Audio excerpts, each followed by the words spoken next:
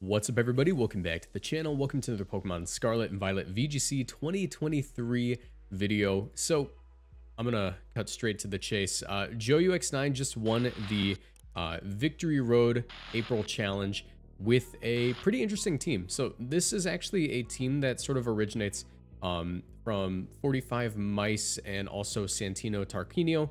Uh, and these players are phenomenal, uh, obviously, but uh, it's a really interesting team that Joe ended up piloting. Uh, but before we get into that, if you guys enjoy this video at any point in time, do me a favor, leave a like in the video, subscribe to the channel, and turn notifications because I bring you daily competitive Pokemon content. That's my comment question of the day, which is, what is your favorite Sun abuser? Anyways, let's get into it. So, uh, what I want to use this video to do is, uh, this tournament is a pretty large tournament. I ended up skipping it because I had a baptism to go to, uh, my cousin's. Uh, but uh, it's a pretty large tournament. A lot of people competed in it, a lot of uh, big players. Uh, and we can use it as sort of a measuring stick to gauge what is going to be popping up at Portland Regionals as well as uh, Hartford and possibly Fresno. Yeah, let's go ahead and get right into it. All right, so let's talk about Joe's team. So Joe's team is this team right here. Except Joe did make some adjustments. I believe the Oracle actually had Fissure on it. I'm not sure if he was running a Jetpack uh, but it's based off of this uh, Sun archetype. We see uh, Torkoal Overheat helping Hand Yan protect. Uh, we have Choice Specs Flutter Mane, Chien-Pao with Focus Sash, uh, Ice Spinner, Sucker Punch, Taunt Protect, and most importantly, like we already know, we already know what all these things do. You know, Tera Fire, Kingambit with Tera Blast, Great Tusk with Headlong Rush and Choice Scarf. It's the Jumpluff that we need to take a look at. So why is Jumpluff um, on this team, and why is it actually kind of a useful Pokemon?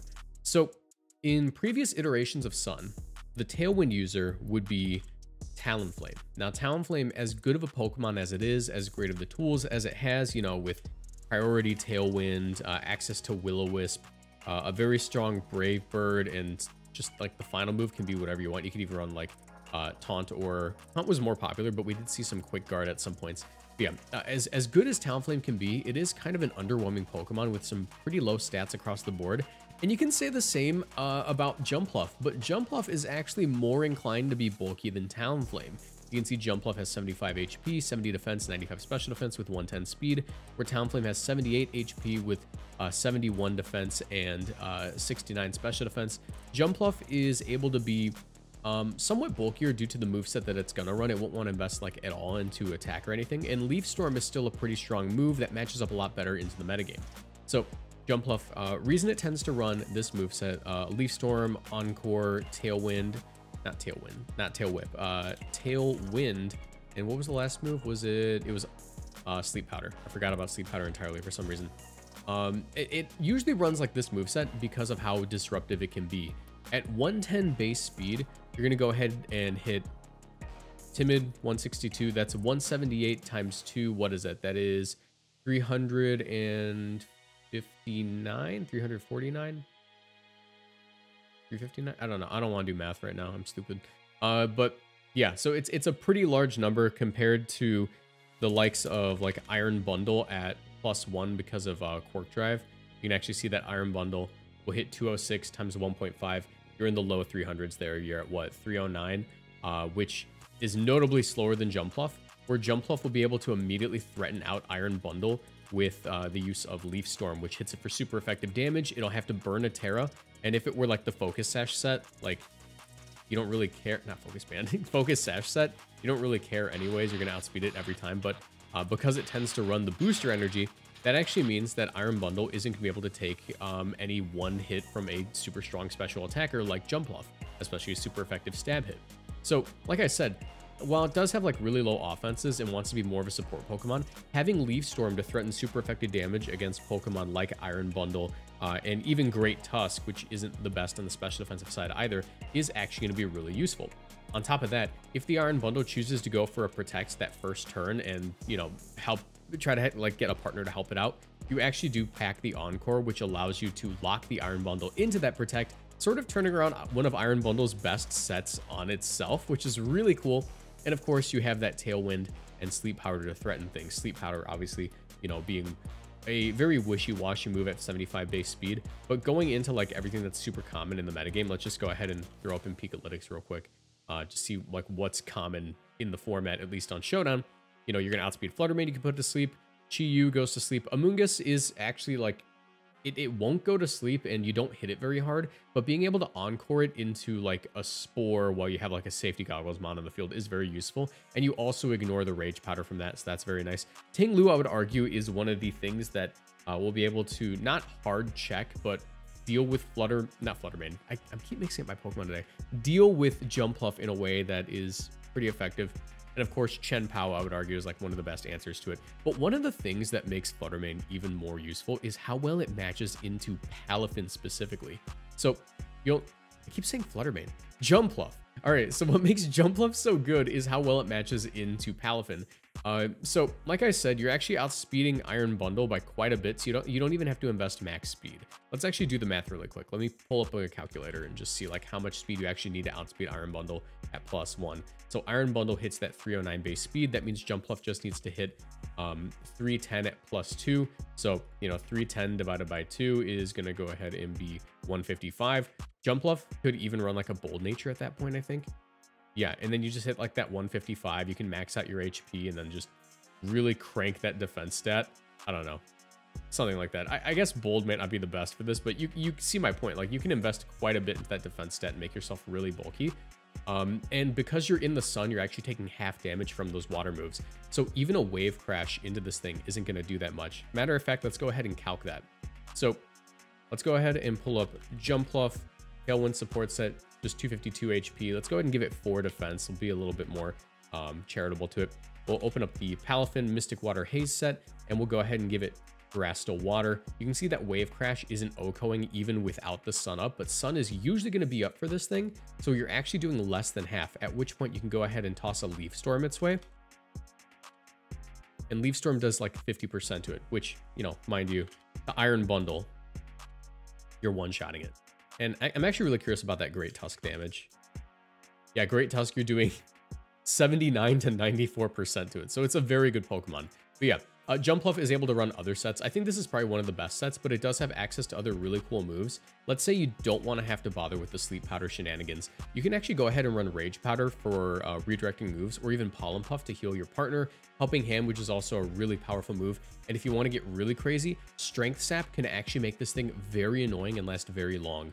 A lot of the best Pokemon in the format are physical attackers that um, won't hit Jumpluff very hard anyways, and being super fast and being able to lower the attack stat on a Great Tusk uh, and get all your health back is really nice. Being able to lower the attack stat on the likes of Chien-Pao, on the likes of Palafin, especially Iron Hands, uh, Dondozo wouldn't appreciate getting its attack stat lowered and just healing all of your health. Like, yeah, obviously you have to be careful for like defiant Pokemon like Annihilape or uh, Kingambit, but my point stands. It's a very nice move to have on it. So yeah, Jumpluff basically just enables the team to do whatever it wants. If we look at this, uh, we see, you know, in the sun, or at least this specific setup. I don't know if Joe ran a jetpack uh, because the details aren't quite out yet. I could ask him, I guess, but, you know, I, I just sat down to record this. So uh, you can like lead off with like Torkoal and like Jumpluff, and then you can eject pack, overheat yourself out. Uh, and then you get in, you know, Tailwind plus Great Tusk or Chien-Pao. You have the option to like, you know, Chien-Pao will force a lot of things to want to go for Protect. If they want to Protect on you, Jumpluff all of a sudden gets to Encore. It's obviously Covert Cloak, which means that it's not going to be able to be faked out. It's a very reliable Pokemon and, you know, a decently bulky one. Anyways, yeah, that's enough about me gushing about how cool this team is. I think it's really solid. Uh, I'll go ahead and I'll try it out in a in a stream tomorrow. Uh, but yeah, so Jumpluff, very good team. Joe, very talented player. Now let's take a look at like the usage of the Pokemon around it to get a little preview as to what we can expect at Portland.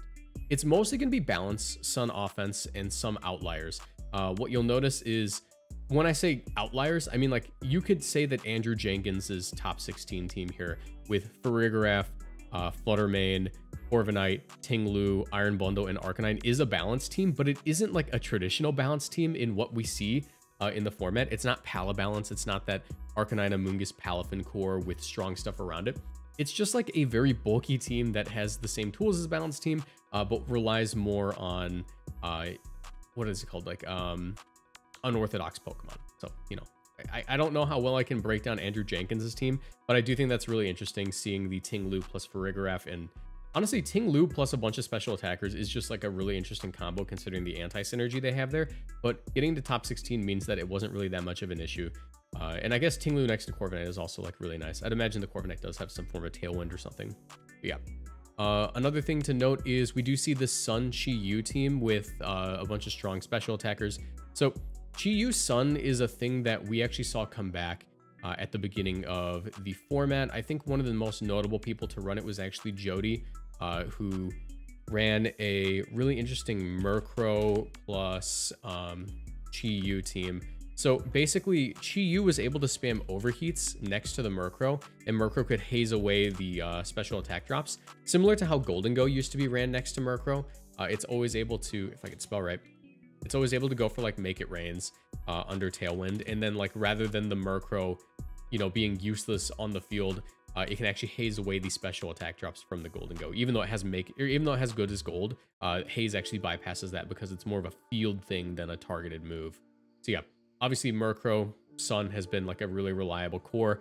Uh, next to Great Tusk, it's very powerful, and Murkrow being able to run like a pretty standard set of like Haze, Tailwind, Foul Play, and Sunny Day is really nice because a lot of Sun teams rely on manual Sun from Torkoal, and I think that with Chi Yu on the team, you don't want to do that, but you also really need Chi Yu to make the team super threatening. So by running like this new version of Sun where you have access to manual Sun is actually like making the archetype a lot more reliable. We also see that uh, Adrian Hurley did run a Don Dondozo Tatsugiri team that used Sand and Indeedee Armarouge. I, you know, I don't really have anything else to say about this team other than you know, we saw this running around in Series 1, and it's really cool how the exact same team can be used in, in Regulation C, uh, despite the fact that Ting Lu and all the Ruins should hypothetically, like, just annihilate Indeedee Armarouge, but it, it's it's whatever, you know. Uh, we see some Pala Balance from Jorge, we see some Pala Balance from Robbie, uh, we see Chien-Pao Balance, which is a new form of, not new, but like it's a form of Pala Balance that's been picking up a little bit. I think that you know, the, the four standard mons on Pala Balance being, you know, Fluttermane, Palafin, Amoonguss, and Arcanine, like those are all really cool Pokemon. You could sort of build it like a Dondozo team, in my opinion, where it's like a solid four and then you have like an alternate opener. Um, Chien-Pao plus Dragonite is obviously a really strong lead in this metagame because of the fact that Chien-Pao will usually run the Tera Ghost uh, and lower the defense stats of everything, while a Choice Band, Life Orb, Lum Berry, Assault Vest, whatever item on Dragonite will be able to take advantage of those things, run Inner Focus, not get intimidated, and just deal massive damage with a Tera Blast Flying, Tera Normal Extreme Speed, or whatever tool it has at its disposal. We see more Pala Balance. Pala Balance is really like the, I would say it's the chalk of this gen, even though chalk wasn't like I, I don't know. I think i don't think it's as dominant as chalk but i think it's like the the team that you just see and you like know what it's going to do and it's like setting the standard for everything to beat we see more sun offense.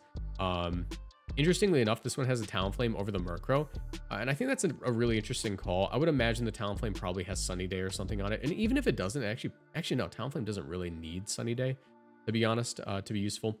Murkrow kind of just uses it like a filler move. See joseph's team which we already talked about uh, we have some more Sun offense. Uh, not Pala balance, but something that people have been doing is if they find that their team needs an, intimid- an intimidator and they already have like a Chi Yu on it, typically you'll actually go ahead and drop Palafin for Gyarados because Gyarados fills a very similar niche in being a physically attacking water type that's quite bulky, but having access to that Intimidate uh, as well as tools like Taunt and Thunderwave, sort of takes like that water type role that's the physically offensive water type role that Palafin has, um, and just keeps it as like a physically offensive water type, but more of like a support thing. It's not meant to pick up KOs as easily as Palafin does, although they will sometimes run um, Dragon Dance, and I'd imagine with an Amoonguss on the team, Dragon Dance is probably there. So yeah, uh, we see more hyper offense stuff. Um, Talonflame plus Fluttermane, Amoonguss, Chi, uh, not Chi, Chien-Pao and Iron Hands. I don't really have much to say about that. Pala Balance, Pala Balance with, uh, honestly, this one's interesting. Usually when you see um, Annihilape on a team, it either has a Maushold or a Ting Lu next to it because of the synergy that it has. Seeing an Annihilape on this team with just Amoonguss is a little confusing to me. I'm actually not sure how that's built, but I'd be really curious to ask the guy how like how often the Annihilape came to games because of that because I feel like Annihilape's a little bit of a sitting duck without the support. Alberto went ahead and ran just sort of like a balanced team again. Uh, once again, we see like the Chi Yu making it so you, you know, you still want an Intimidator, so you end up dropping it for Gyarados. Uh, or you drop like the Arcanine for Gyarados, or the Palafin. And then we just see more Pal, Pala balance from uh, Francisco. Yeah, Um, my thoughts on this is that like Balance is going to be like the strongest archetype that we see going forward, but I think that Sun winning the entire thing and having like th that positive matchup into Balance makes it so that we might see more not all right so like sun offense with murkrow was like a thing that we knew about but sun offense with jumpluff having a more positive matchup into pal balance is sort of a metagame shaker that i think people have to consider going into portland. And i know that it has it has actually like messed with my portland prep where i'm i'm reconsidering my team. So yeah uh, i'm gonna figure out what i'm gonna do but uh, this is basically just me quick little video talking about this tournament how it's to shape up uh, the metagame going forward. And yeah uh, just a nice little overview nothing too in-depth if you guys enjoyed, leave a like, subscribe, turn notifications, and I'll see you guys in the next one. Bye.